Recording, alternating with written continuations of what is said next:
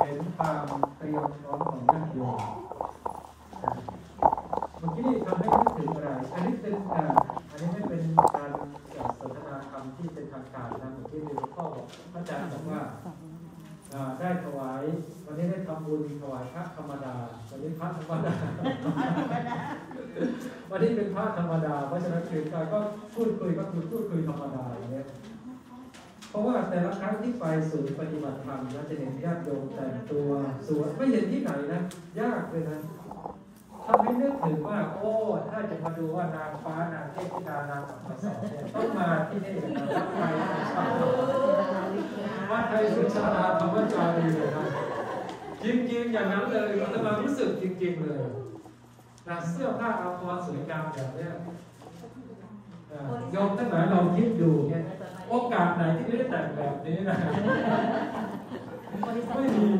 ไม่มีนะไม่มีนี่แหละคือเป็นความสุขนะแต่ที่เห็นได้นะความสุขของมนุษย์ง่ายๆเลยก็บอกว่า ถ้ามองหาความสุขของตัวเองไม่เจอนะในชีวิตของเราก็ลำบากเหลือเกินนะท่านบอกว่าสุขเพราะว่ามีนึกถึงสิ่งที่เรามีนะอย่านึกถึงสิ่งที่เราไม่มี ถ้านึกถึงสิ่งนึกนึกเมื่อกี้เนี่ยฉันไปนั้นไปเยอะเอ่อซุปดอกไม้ซึ่งเรานะภาษาก็จะติดไปที่บ้านเลยนะออกมาแล้วออกไปก่อนนะออกไปแล้วกันนะสองถุงแล้วนึกถึงสิ่งที่เรามี อย่านึกถึงสิ่งที่เราไม่มีนะถ้านึกถึงสิ่งที่เราไม่มี เราก็อยากจะมี มันมีอีกเยอะในโลกนี้นะ ที่เราไม่มีนะถ้าเรานึกถึงสิ่งที่เรามีเออความสุขมันเกิดขึ้นได้แล้ว อันที่สองก็คือใช้สิ่งที่เรามี ใช้สิ่งที่เรานี่สำคัญใช้สิ่งที่เรามีและหลายคนมี แต่ไม่ใช้ มีไหมที่เรามีเสร็จแล้วมาสะสมไว้แต่เราไม่ได้ใช้ มีค่ะซื้อตามแฟชั่นเสื้อผ้าอาภรณ์อะไรพวกนี้ต่างๆ ชุดมาจากเมืองไทยเนี่ยชุดไหนชุดอะไรพวกนี้ถ้าไม่มีโอกาสแบบนี้เราไม่ได้ใช้เลยนะใช่แล้วค่ะท่านเพราะฉะนั้นต้องรู้สึกขอบคุณอาจารย์พระคุณอาตมาได้ยินสโลแกนว่าชุดไทยอะไรนะเอ่อไม่ไทยอะไรนะเออชุดไทยใครว่าเชยโอ้โหนี่เออแต่งผ้าไทยใครว่าเชยนี่แหละก็คือใช้สิ่งที่เรามีได้หลายคนมีเพราะว่าไปเมืองไทยไปใช้จ่าย ต้องขออภัยนะ คะขาตั้งยังไม่พร้อมเห็นก็เลเสื้อยสั่ผ้างพอเขาเยอะแยะเลยก็ซื้อซื้อซื้อมาแต่พอมาแล้วอ้าวไม่มีโอกาสได้ใช้เลย เพราะฉะนั้นวัดนี่แหละเป็นที่ที่ให้เรามาวัดว่าไอ้สิ่งที่เรามีเรามาใช้ได้อย่างนะเพราะว่าจะมาสังเกตได้แต่ละท่านมีสีแตกต่างกันเลยมาแต่ละครั้งไม่เหมือนเดิมเลยนะ ไม่เหมือนเดิมเลยมีแต่ละสีเนี่ยอะประการที่สามก็เราได้สิ่งนั้นมาอะ ด้วยความบริสุทธิ์ของเรานั่นก็คือเราทำงานหนักเก็บตังค์มาแล้วก็ไปเมืองไทยซื้อมาด้วยความสุจริตของเรา มีไหมใครไปซื้อแล้วก็ไปรูดบัตรมาจากที่เมืองไทยเนี่ยปล่อยคนเนี้ยสีฟ้าเนี่ยนะที่รูดบัตรนั้นมาก็คือมันก็เป็นหนี้หนี้ที่เราสามารถที่จะดูแลได้มันก็ไม่เป็นไรแต่ถ้าเกิดเรานึกถึงหนี้ที่เราควบคุมไม่ได้นั่นก็ต้องเป็นทุกข์นั่นเอง นี่แหละก็คือความสุขสี่ประการที่มนุษย์เรามีได้ แต่ว่าสุขเพราะว่าเรามีใช้สิ่งที่เรามี แล้วก็ได้สิ่งนั้นมาด้วยความสุจริตแล้วก็ไม่เป็นหนี้เป็นเป็นหนี้สินไม่มีภาระจากสิ่งที่เราได้มานี่คือความสุขที่เกิดขึ้น แล้วก็ได้เห็นวันนี้ได้เห็นอ่าต่างๆ นึกถึงสวรรค์ชั้นดาวดึง ทำไมสวรรค์ชั้นดาวดึงให้ทำให้นึกถึงว่าสวรรค์แปลว่าอะไรมีใครอันนี้ได้ไหมสวรรค์แปลว่าอะไรภาษาภาษาไทยภาษาอันนี้ของเราสวรรค์แปลว่าอะไรชอบพูดไว้สวรรค์แต่ไม่เออเราหมายถึงอะไรสวรรค์พอเราพูดถึงว่าสวรรค์สวรรค์ก็คือดีความสุขอยู่ที่สุดสบายแล้วก็อ่อนนุ่มละมุน ละไมด้วยวันนี้โยมโยมโยมลำไยวันนี้ทำบุญโยมลำไยนะทำบุญยังมีชีวิตอยู่นะไม่ใช่ทำบุญถึงทำบุญยังมีชีวิตอยู่วันเกิดวันนี้เป็นไม้มีนางฟ้านางอัปสรมาเป็นบริวารการที่กันทั้งหมดทุกคนไม่มีใครเด่นดูแล้วสวยทั้งกันทั้งหมดเลยนั่นแหละนั่นก็คือนางอัปสรที่อยู่บนสวรรค์ สวรรค์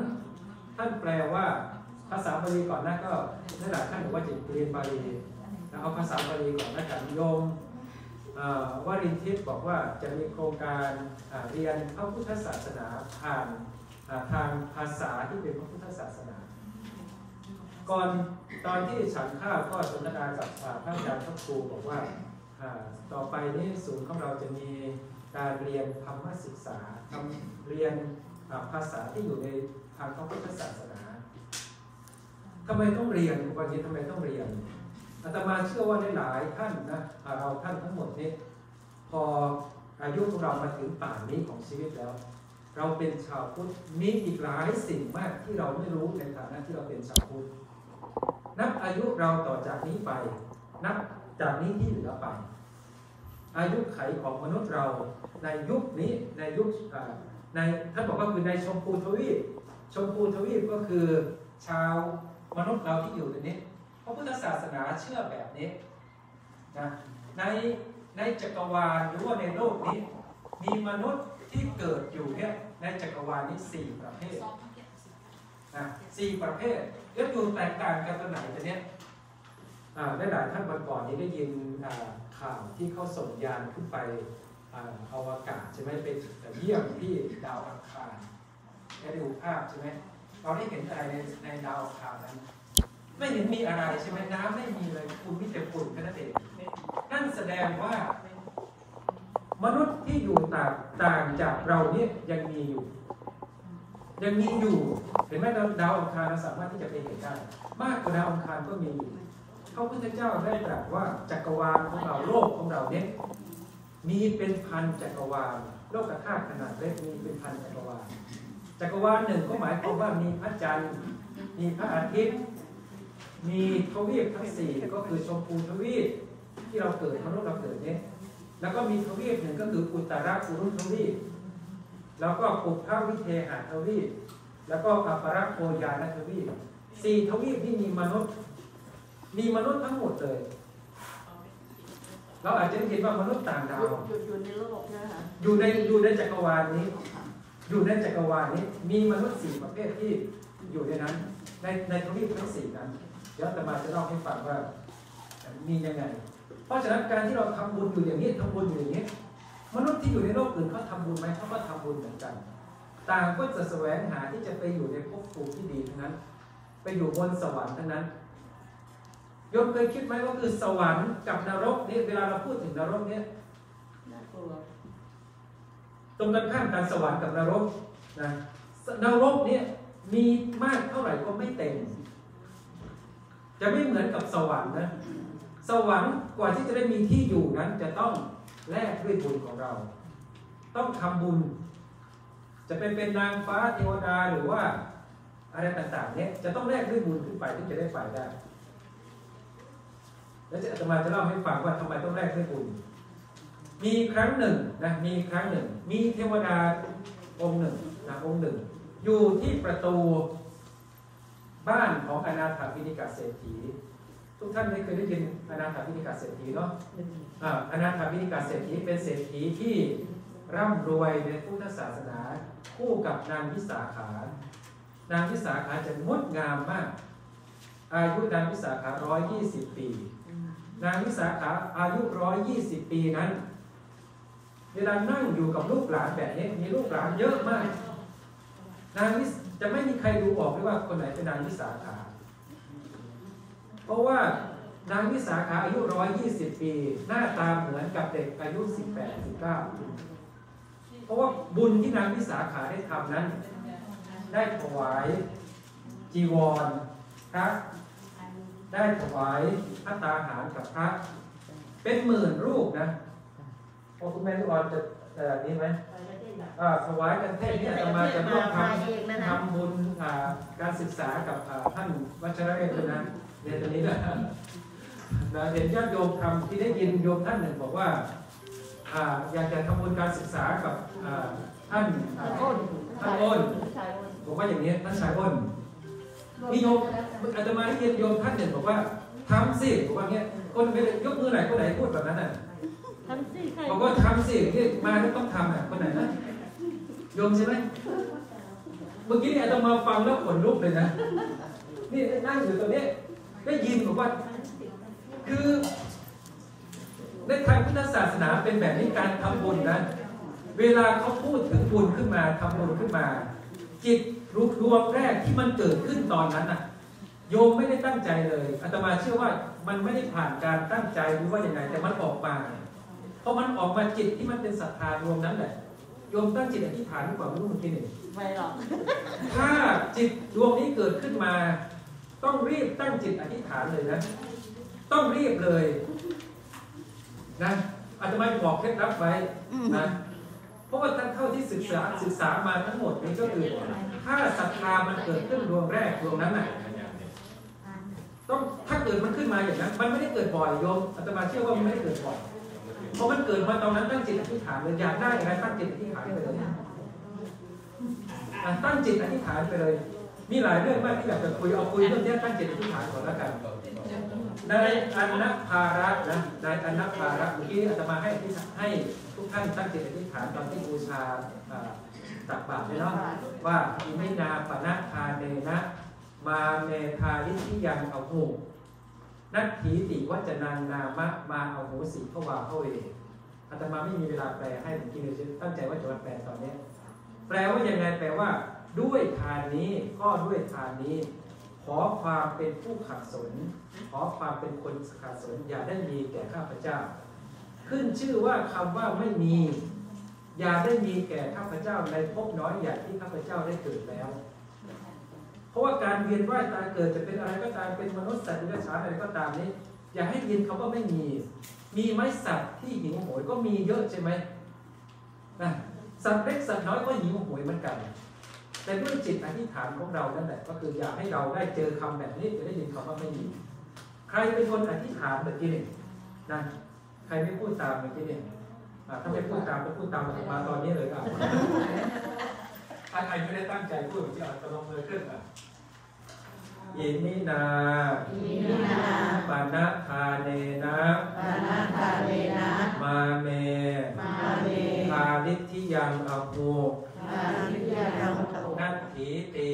นาทีติวัจนังนามะวัจนามะ มาอโหสิมาโหสิภวาภเวภวาภเว ก็ด้วยทานนี้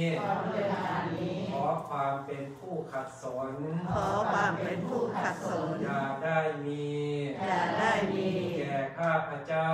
แก่ข้าพเจ้า ขึ้นชื่อว่า ขึ้นชื่อว่าคำว่าไม่มีคำว่าไม่มี อย่าได้มี อย่าได้มี แก่ข้าพเจ้า แก่ข้าพเจ้า ในภพน้อยใหญ่ ในภพน้อยใหญ่ ที่ข้าพเจ้า ที่ข้าพเจ้า เกิดแล้ว เกิดแล้ว ภพทุกภพทุกชาติเกิด พบทุกชาติเถิด อะนี่แหละก็คือหลักการที่เราทำ เขายังไม่ได้ นี้ ถามเขายังไม่ใส่ อันนับ ภาระใส่นะมันใส่ที่แล้วอะโอ้โหวันนี้ได้ร่วมทำบุญกันเยอะมากเลยนะก็ปัจจัยทั้งหมดนี้อาตมาจะขอร่วมกับท่านอ้นไปเลยนะสนับสนุนการศึกษาเพื่อที่เราจะได้มีสติปัญญาร่วมกันเนะได้ข่าวว่าท่านสนับสนุนแล้วก็ให้การศึกษากับเด็กๆที่เมืองไทยหรือว่าที่เนี้ยแต่ก็ได้เรียนแบบนี้เหมือนกันเพราะฉะนั้นท่านที่ร่วมทำบุญวันนี้ก็อ่าร่วมไปด้วยกันนะ ยมแม่นิออนไม่ต้องเป็นห่วงอาตมาเพราะยมแม่นิออนใส่เทย่าอาตมาแล้ว50ปีเพราะฉะนั้นค่าแก๊สต้องอาตมามีแล้วไม่ต้องห่วงไม่ต้องห่วงอาตมาไม่ต้องห่วงอาตมานะอ่าอ่าแม้ว่าจะมาฟรีก็ตั้งใจที่จะมาเมื่อวานนี้อาจารย์ท่านเทศไปอาตมาไม่คิดอะไรเลยผมว่าเออเป็นอ่ามามาแน่นอน พอนึกถึงอาหารไม่เคยได้ฉันอาหารที่ไหนอร่อยเท่ากับที่มาสุดสาธุไม่มีที่ไหนเลยทุกครั้งเนี่ยนะนึกถึงส้มตำตรงแค่หัวด้วยอ้าวทีนี้ใครเป็นคนอธิษฐานบทเมื่อกี้นี่นะอันนัภาระนะเพราะฉะนั้นโยมเมื่อกี้นี่จำเองนะจำเองนะต่อไปเนี้ยแล้วก็โอ้โหเนี่ยท่านต้องภาษาบาลีไม่ได้ไม่เป็นไรนึกถึงภาษาไทยที่เราพูดถึงอ่า เวลาเราทำบุญทำทานหรือว่าเราปฏิบัติธรรมนั่งสมาธิก็ขอความเป็นผู้ขัดสนอย่าได้มีแก่ข้าพเจ้า ขึ้นชื่อว่าคำว่าไม่มีนะนะคำว่าไม่มีอย่าได้มีแก่ข้าพเจ้าในภพน้อยใหญ่ที่ข้าพเจ้าได้เกิดในภพชาติไหนก็ตามอย่าได้เกิด ตั้งจิตอธิษฐานเลยทำบุญต้องอธิษฐานนะทำบุญต้องอธิษฐานพระอัครสาวกพระปฐมสาวกทั้งหมดเนี่ยท่านอธิษฐานทั้งหมดนะ ทำไมต้องอธิษฐาน เพราะว่า เราอะไม่รู้หรอกว่าใครจะเป็นอะไร อย่างทุกวันเนี่ยเราเกิดมาเป็นมนุษย์เนี่ย เราเคยตั้งจิตอธิษฐานเลยนะคุณโยมก็เหมือนกัน คุณโยมมีสติปัญญามากกว่าคนอื่นหาทรัพย์ได้มากจากกว่าคนอื่นหรือว่าอะไรพวกนี้ต่างๆ เนี่ย เพราะฉะนั้นมนุษย์จึงแตกต่างกัน เพราะฉะนั้นทุกๆครั้งที่ทำบุญอย่าดูถูกทางของตัวเอง บางคนบางท่านเอ้ยแค่หนึ่งเหรียญไม่เอาหรอกแต่ก็ ไม่เอาหรอกก็คือนี่จะไม่ไปแลกเอาอ่าอ่าถูกรางวัลที่หนึ่งถูกแบบ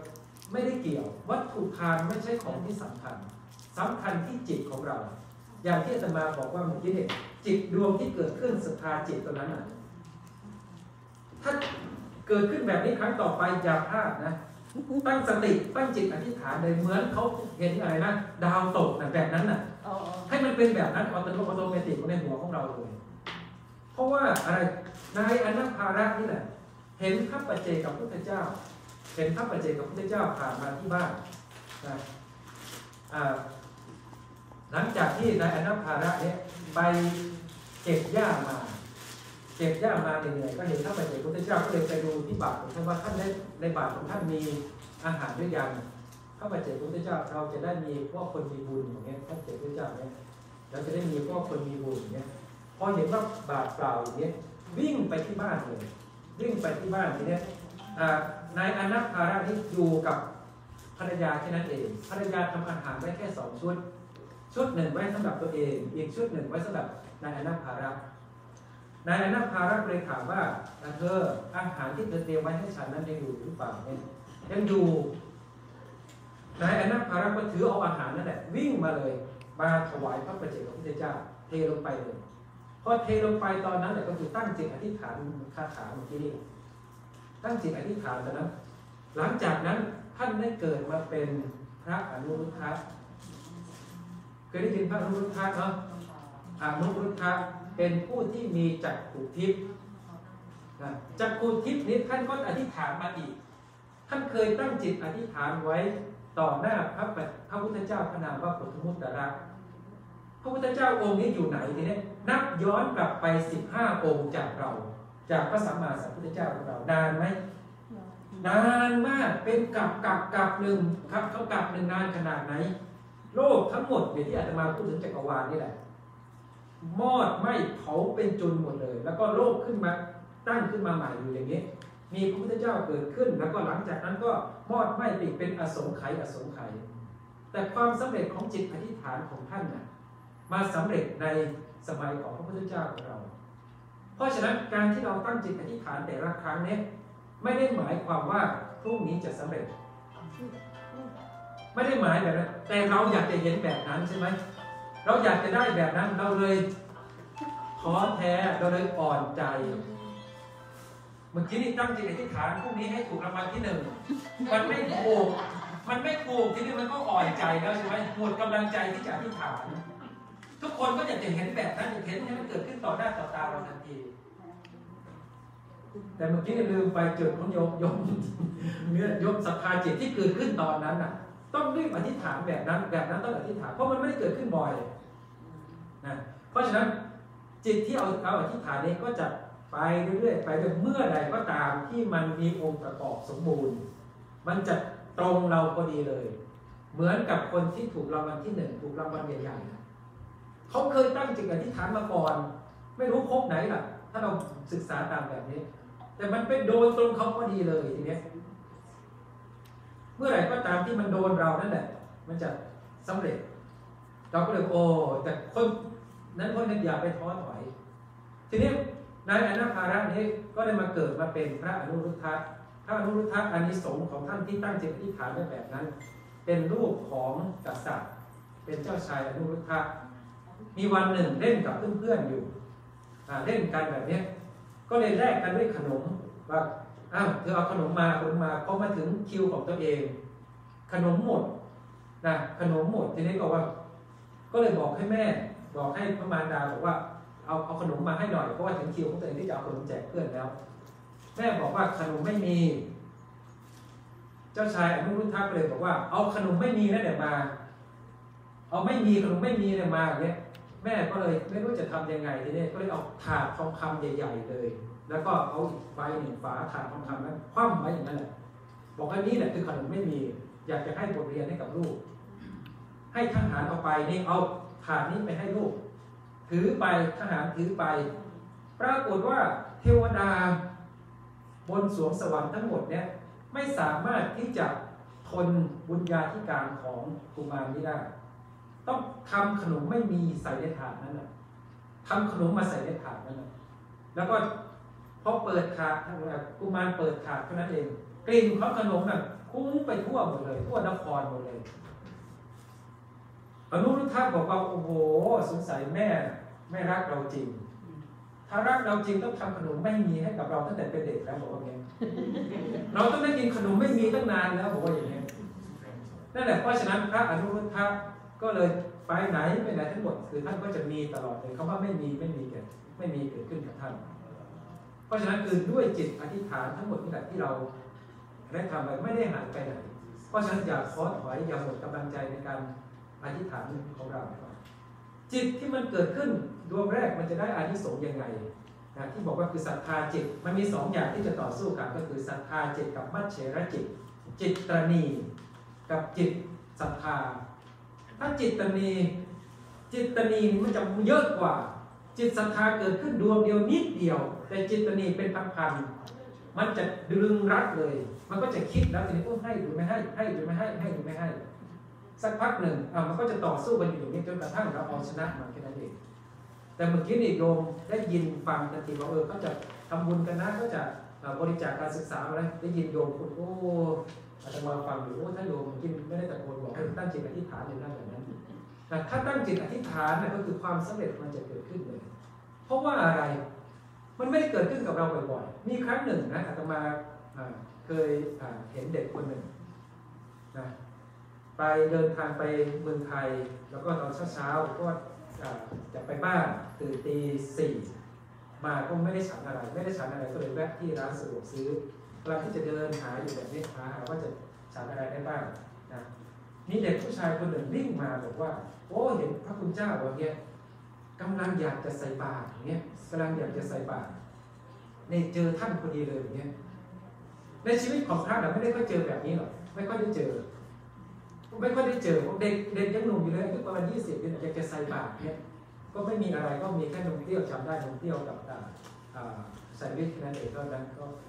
โอ้โหแบบถ้าเขาตั้งจิตอธิษฐานอะไรในตอนนั้นน่ะก็คือที่มันเกิดขึ้นน่ะนะเขาได้สำเร็จในสิ่งซึ่งในชีวิตของเขาแน่นอน ไม่ได้ทำแค่กับพระนะทำแค่กับคนทั่วไป ถ้ามีคนมาบอกดูมันเกิดขึ้น แต่เราอย่าเอาเรื่องของอวัตถุทานเป็นที่ตั้ง วัตถุทานมาเป็นตัวกำหนดเราว่าเออฉันให้น้อย เราไม่กล้าที่จะอ่าอ่าอ่าทำบุญคือคนคนส่วนใหญ่จะคิดแบบนั้นใช่ไหมแม่ก่อนเป็นไหม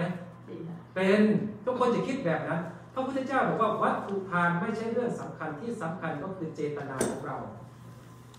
เจตนาที่ประณีตจิตที่เป็นกุศลของเรานั่นแหละเพราะฉะนั้นแม้กระทั่งพระสงฆ์เองก็เหมือนกัน เวลาท่านฉันอะไรเนี่ยท่านจะไปอ่าตำหนิวัตถุทานของโยมไม่ได้นะแต่โยมก็อย่าไปคิดว่าพระได้ฉันของเราแล้วเราอย่าไปน้อยใจเหมือนกันนะในขณะเดียวกันนะ เมื่อกี้เนี่ยถ้าพระฉันทั้งหมดอาตมาฉันทั้งหมดอาตมาตายแน่นะต้องเข้าใจแบบนั้น แต่ก็คือบุญมันเกิดขึ้นจากเจตนาของเราแล้วเห็นไหมต้องบอกข่าวว่ามีบุญวันนี้นะพระอาจารย์บอกว่ามีข่าวมีบุญวันนี้โยมก็ตั้งอกตั้งใจที่จะทำเราคุณอ่าแม่ทัศนีมาจากโน่นเลยอ่าทำแกงเขียวหวานเนาะใช่ไหมเป็นตัวตัวนี้เอค่ะอนะคนนั้นน่ะเป็นจังหวะอ่านี่แหละเอาย่อมปอกเปี๊ยะกับ กะเพรากะเพราไก่จ้ะเจ๊ได้สั่งไปก่อนแม่นี่อ่อนต้องแม่นี่อ่อนชิมจ้ะบอกว่าแม่นี่อ่อนเอามาหมดเลยนะก็บอกว่าอย่างนี้อันไหนที่จะมาจะสั่งนะเอาไว้แก้โยมทัศนีเอาไว้แก้ตัวเนาะอ่าแก้ตัวใหม่งานหน้าค่ะอ่างานหน้าแก้ตัวใหม่แต่อย่างไรก็ตามเจตนาเกิดขึ้นแล้ว เจตนาที่เป็นบุญจากที่เราทำเกิดขึ้นแล้ว เอาเมื่อเอาทานมารวมกันพระสงฆ์ท่านก็รับ แล้วก็อนุโมทนาให้พรเป็นบุญเกิดขึ้นแล้ว ถ้า ท่านไม่ตักทานของเราไม่ตักอ่าหารของเรา เราก็อย่าไปน้อยอกน้อยใจ เราจะไปน้อยอกน้อยใจ เพราะว่าเราสละแล้วเราเอาชนะความตระหนี่พวกเราเกิดแล้ว ภาษาพระท่านเรียกว่าชิตังเมชิตังเมก็คือ ชนะจิตที่มันเกิดความตระหนี่เกิดขึ้นแล้ว มีไหมใครที่ชิตังเมแบบนี้พรามคนหนึ่งนะพรามคนหนึ่ง มีผ้าผืนเดียว สามีภรรยาคู่นี้ มีผ้าผืนเดียวมีผ้าอะเขาอยู่เป็นยังไงเขาก็มีคงจะมีผ้าปิดอยู่แหละแต่ก็ ไม่ต้องคิดมากแต่ผ้าเอาบุญรู้จักผ้าเอาบุญไหมอะแม่แม่บัวผ้าเอาบุญคือผ้าอะไร เสื้อเอาบุญคือเสื้ออะไรเสื้ออะไรโอ้ยเสื้อกันหนาวเหรอเสื้อแล้วมีแซ่บหัวคนนี่ถวายเลยเนี่ยถวายเสื้อเอาบุญคือเสื้ออะไรอะ ยกขันทองเสื้อเอาบุญคือเสื้ออะไรงานเพื่อใจฮะน้ำใจเอาไว้ทโอ้เสื้อน้อยำเอาไปตอบได้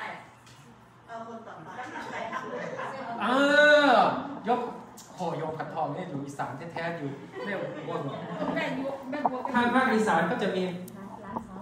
โอสาธุนาสาธุนาร่วมทำบุญด้วยกันนะสาธุนะเสื้อใส่เสื้อเอาบุญก็คือเสื้อใส่ไปงานเอาไปงานพิเศษเหมือนเสื้อแบบนี้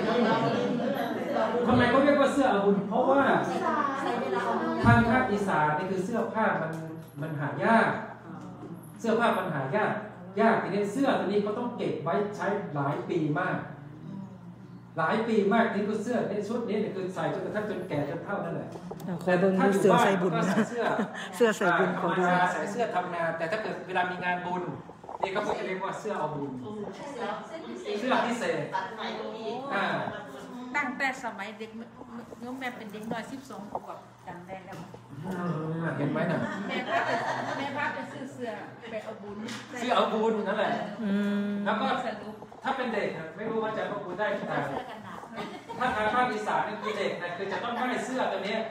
ต้องขายข้าวเท่านั้นเองถึงจะได้ ก็คือหนึ่งปีได้เสื้อเอาบุญครั้งหนึ่งบางทีเสื้อเอาบุญเนี่ยจนกระทั่งกับตัวเราใหญ่ขึ้นไปเรื่อยๆอาตมาจนได้ครั้งเดียวจำได้ที่เสื้อได้ครั้งเดียวเพราะว่าเออนะแต่โยมสิทำทำบุญตั้งร่าหผัวนึ่งเมียเนี่ยอะโยมนำได้เนาะเสื้อบุญเอ่อ โยมทำนาหนึ่งหนึ่งปีถึงจะได้เจ้าค่ะเออยายบอกว่าเกี่ยวเขาแล้วจะไปซื้อเด้อเสือถุงนะพรามผัวเมียคู่นี้นะมีเสื้อเอาบุญหนึ่งตัว ผ้าเอาบุญหนึ่งตัวแต่ผ้าธรรมดาก็คงจะมีอยู่ที่บ้านเนี่ยก็เลยตกลงกันว่า เราจะไม่สามารถที่จะไปทำขอทำดูกันเสื้อบุญหน่อยสิสวยแค่ไหน เพราะว่าอ่าก็จะต้องผลัดเปลี่ยนกันไป ก็เลยตกลงกันว่าเธอจะไปตอนเช้าหรือว่าไปตอนเย็นเสื้อเดียวกั นเนี่ยนะไปตอนเช้าหรือไปตอนเย็น ก็ตกลงกันว่าคือภรรยาจะไปตอนเช้าตอนกลางวัน เพราะว่าเป็นผู้หญิง ส่วนพรามก็จะไปตอนกลางคืน ก็เลยเอาผ้าผืนนั่นแหละวางไว้อยู่ตรงไหนวางไว้ที่หน้าประตูวางไว้ที่หน้าประตูใครออกจากบ้านไปก็ใส่เสื้อกันหนาวใส่เสื้ออาวุธนี้ออกไป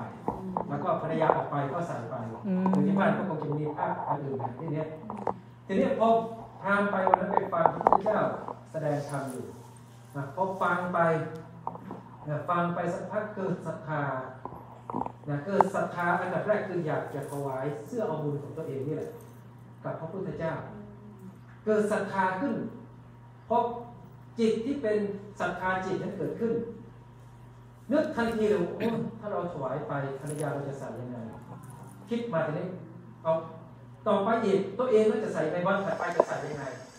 ถ้าเราจะสลับตัวนี้ ก็ต่อสู้กับจิตของตัวเองไปเนี้ย ปฐมยามผ่านไปนะปฐมยามผ่านไป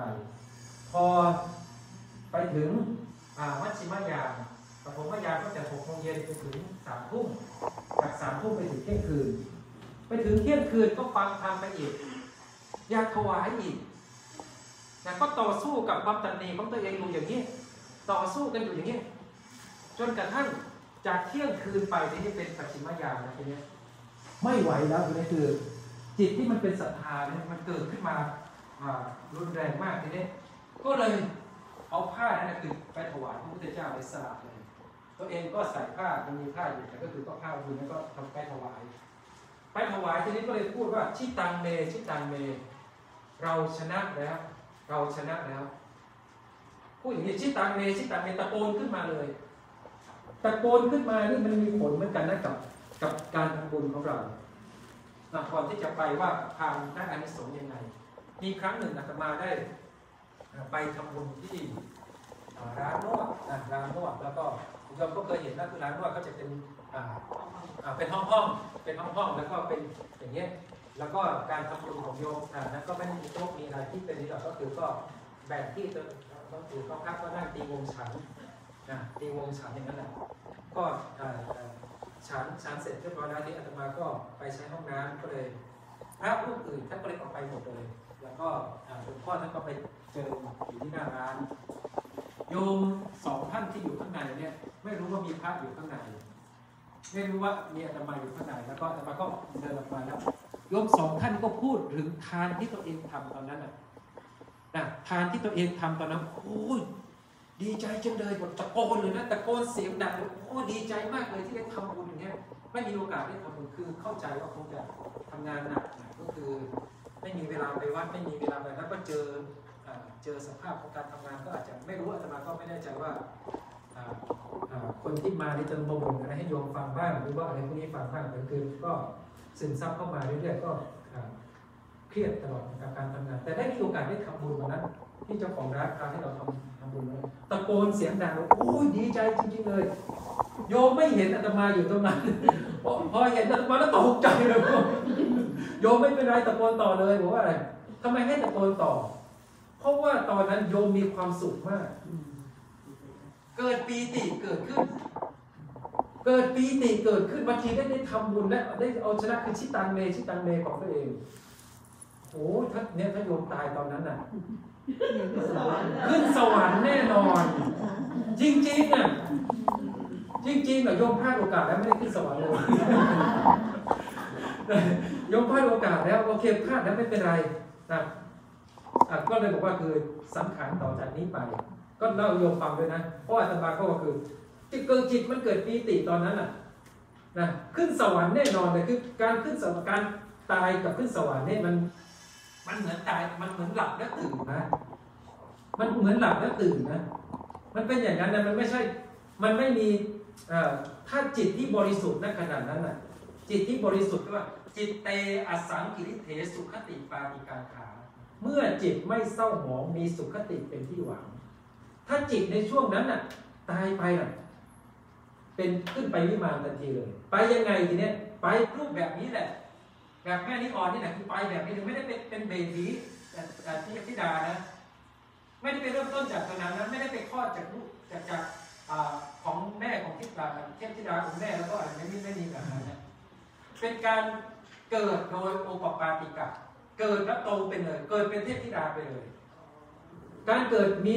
สี่ประเภทประเภทหนึ่งก็คือเกิดเป็นตัวเป็นตนเลย เกิดมาจากคันเกิดมาจากไข่เกิดมาจากท้อง เกิดมาจากเข้าใครเกิดมาจากเนี้ยมีอันหนึ่งก็คือเกิดไปเป็นเทพธิดาไปเลยเพราะฉะนั้นคือตายไปแบบนั้น ไม่มีช่องว่างที่จะไปเริ่มไปเกิดเป็นเด็กเป็นอะไรนะนอกจากเกิดมาเป็นมนุษย์นะนะถ้าไปจุติไปเป็นเทพธิดาไปเลยนางดอกบวบขมแล้วก็เอาดอกไม้ดอกบวบขมสีเหลืองนะจะไปถวายพระพุทธเจ้าไปเจดีย์พระพุทธเจ้ามองเห็นนู่นที่ภูเขาเนี่ยเจดีย์พระพุทธเจ้า จิตนางมุ่งไปถึงตรงนั้นเลย ปรากฏว่าในขณะที่นางถือดอกไม้ผ่านจะผ่านไปนะเจอแม่โคลูกอ่อนคลีตาย นางไปเกิดเป็นเทพธิดามีวิมาสีเหลืองเต็มหมดเลยบนสวรรค์นี่ก็เหมือนกันนะถ้าโยมคนนั้น เป็นอะไรในตอนนั้นโอ้โหร่วงเลยอิจฉาเลยอาตมาอ่าจริงจริงๆอะอย่างนั้นเลยเราจะเห็นว่าคือการถ้าเกิดเกิดเรารู้เป้าหมายแบบเนี้ แน่นอนเราคนอื่นจะไม่เสียใจเลยญาติพี่น้องจะไม่เสียใจ เราก็จะไม่เสียใจเราจะไม่กลัวที่จะตาย แต่ที่เรากลัวที่จะตายเพราะว่าอะไรเพราะว่าเราไม่รู้จะไปไหน เราจะไปเกิดเป็นยังไง เราไม่รู้ตัวเราไม่รู้นะเราไม่รู้นั่นเองมีใครไหมที่มีจุดมุ่งหมายที่จะเป็นเทพธิดาแบบนี้เลย มีนางคนหนึ่งชื่อว่าปฏิปูชิกาปปฏิปูชิกาแปลว่า ปฏิแปลว่าสามีปูชิกาแปลว่า บูชา บูชาสามี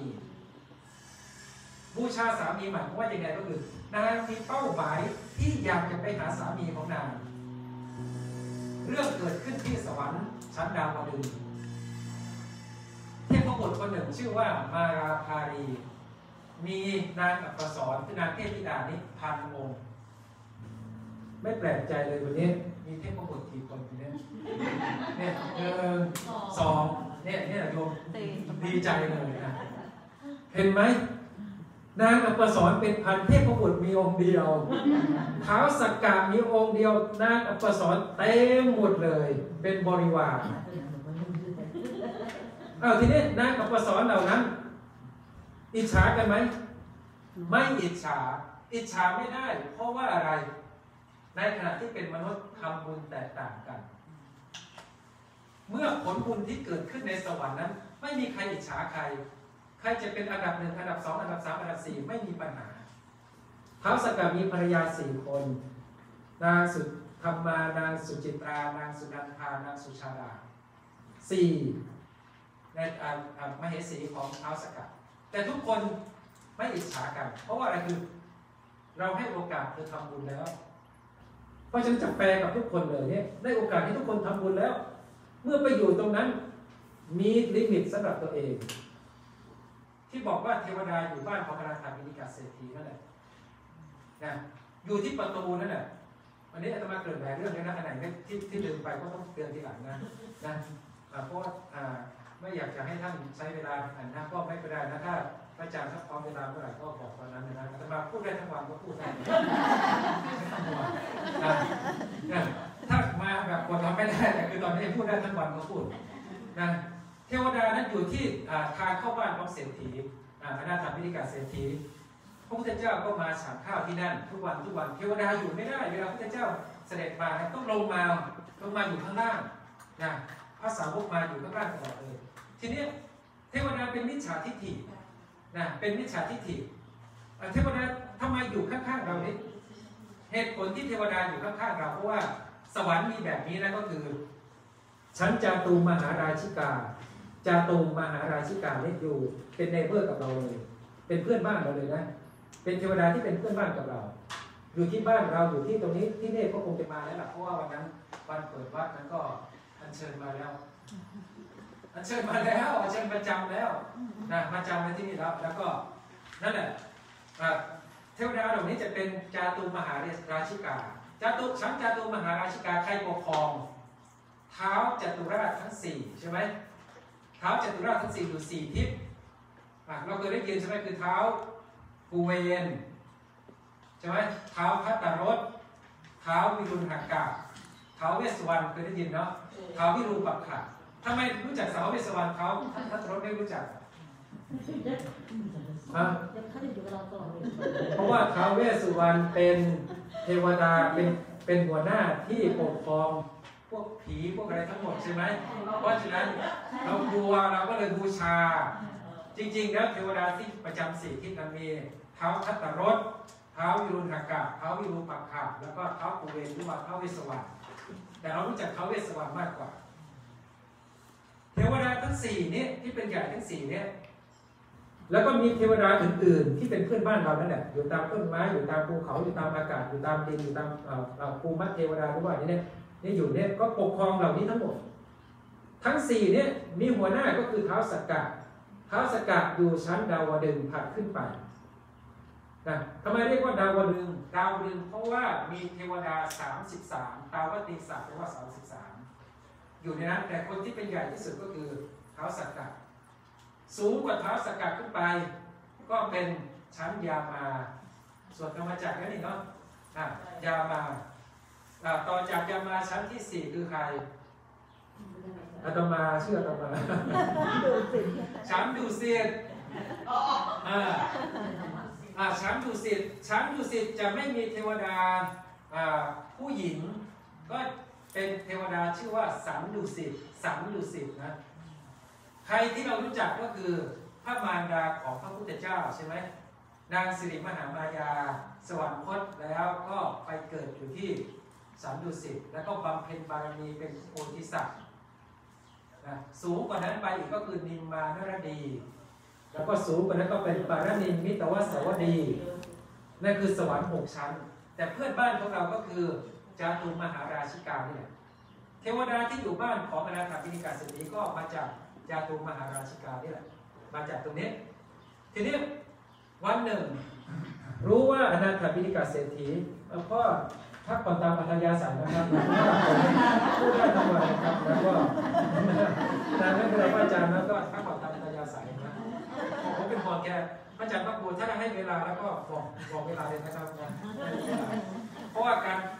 บรรยายครั้งนี้ไม่มีขึ้นต้นแล้วก็ไม่มีลงท้ายจบก็คือจบเลย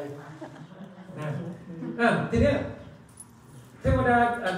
องค์นี้แหละเทวดาที่อยู่อันอันประตูที่บ้านอ่าอนาถาบิณิกาเศรษฐีนี่แหละ ไม่อยากให้พระเจ้ามาที่บ้าน เพราะว่าตัวเองก็ต้องขึ้นลงขึ้นลงอย่างนี้ตลอด ในตอนนั้นอนาถาบิณิกาเศรษฐีหมดทรัพย์ทรัพย์ของอนาถาบิณิกาเศรษฐีหมดได้ยังไงเป็นเศรษฐี เพราะว่ามีคนมายืมไปนี่เห ตุที่จะหมดทรัพย์ไม่ต้องระวังนะโยมเองก็เหมือนกันะเหตุที่เราจะหมดทรัพย์เนี่ยก็คือหนึ่งก็คือมีคนมายืมสองเอาทรัพย์นั้นไปซ่อนไว้แล้วก็ลืมนะมีใครไปซ่อนไว้หน้าบ้านบ้างมีใครไปซ่อนไว้ที่อ่ากระถางต้นไม้อย่างที่ปลูกไว้ที่หน้าบ้านบ้างมีนะครับนั่นแหละครับ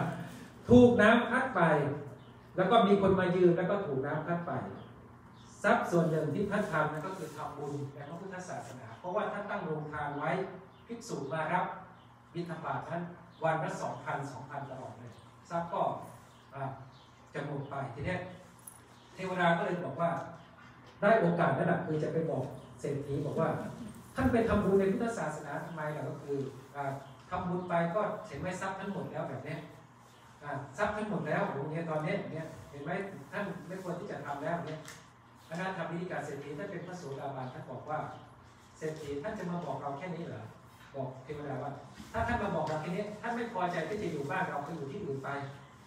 ดังนั้นทางวิธีการเศรษฐีแบบนี้พูดอย่างนี้นะนะให้ไปอยู่ที่อื่นไป เทวดาอยู่ไม่ได้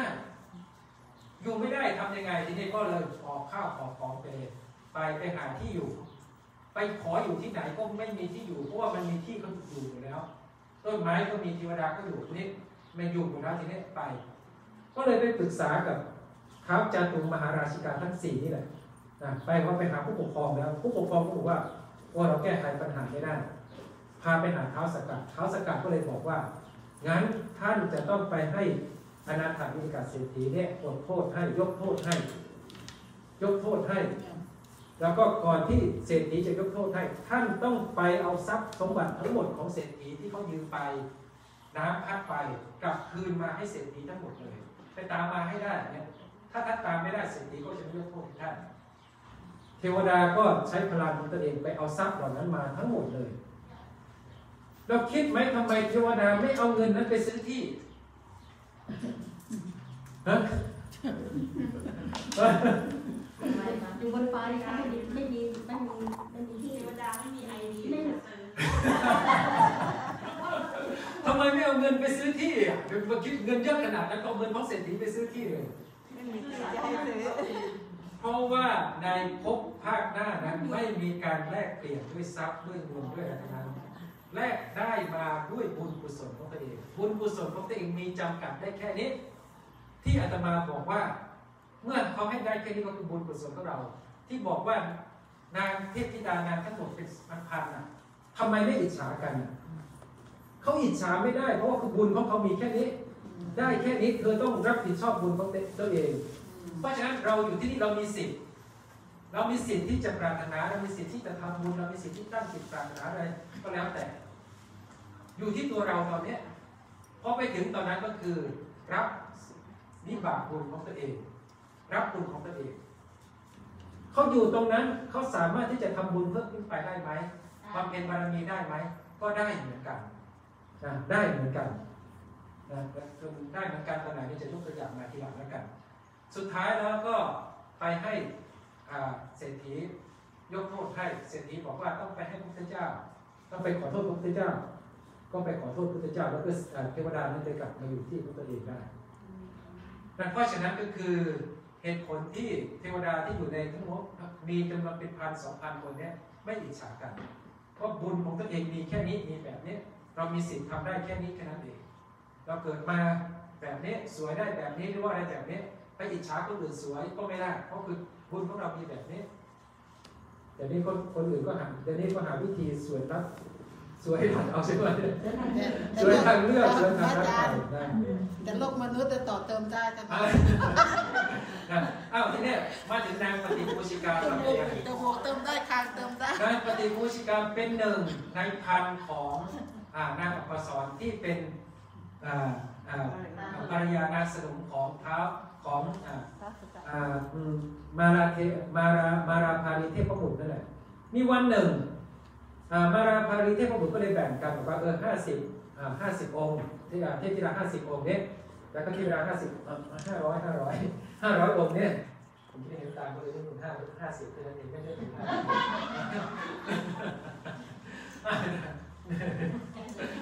นะทีนี้ก็เลยแบ่งกันบอกว่าเออห้าร้อยองค์เนี่ยขึ้นไปบนเก็บดอกไม้ แล้วก็อีกห้าร้อยองค์เนี่ยเก็บดอกไม้ที่ร่วงนั้นคือมาประดับมาราภารีนะนะนางที่ขึ้นไปห้าร้อยองค์นั้นก็คือเก็บเก็บให้มันร่วงลงมาเด็ดเด็ดให้มันร่วงลงมาร่วงลงมาร่วงลงมาเรื่อยๆมีเทพธิดาองค์หนึ่งเผลอใจเก็บอยู่อย่างเงี้ยตกร่วงลงมาจาก ต้นไม้นั้นต้นไม้นั้นมีต้นอะไรก็คือ ต้นดอกไม้ที่ก็เป็นต้นปาริชัดต้นดอกแครฝอยต้นอะไรแบบนี้ทั้งหมด เอามาประดับเทพบุตรนั้นนางจุติตกลงมาจากตรงนั้นคือจุติ มาจุติในโลกมนุษย์ทันทีเลยมาจุติในโลกมนุษย์พอมาเกิดในท้องของอชาวเมืองโอ้มาโอ้โหเสียดายจังเลยนะ มาแล้วอ่าท่านมาแล้วเพราะฉะนั้นเอาไว้ติดตามในเฟซบุ๊กเอาไว้งานหน้าถ้าไม่สนใจก็เดี๋ยวคุยจนขอผู้ใหญ่มากดติดตามตอนสองนะคะมุ่งหวังยังไงยังไงเพื่อก็ที่จะเดี๋ได้ยวกลับไปไปด้วยกันบนนะคะสวรรไว้ค์เจอกันแล้วนี่เจอแหละกันคือนางค่ะคนนี้แหละที่นางมีเป้า